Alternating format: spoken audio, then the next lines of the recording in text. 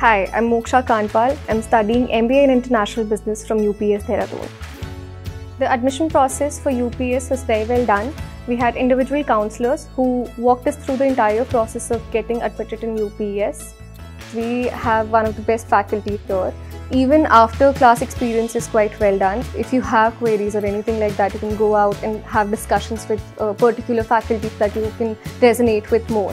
So my experience along with a few of my uh, classmates was very good when it comes to uh, faculty interactions. I also got an opportunity to work with the placement cell here, being the SPR, Student Placement Representative for my batch. We had a great exposure when it comes to the entire process of internships and also placements. The placement process started right when we entered our second year. We had several companies coming in, one of which was KPMG. Apart from KPMG, we also had several other companies coming in a few of which were Accenture, Deloitte, Capspire, Genpact and many more.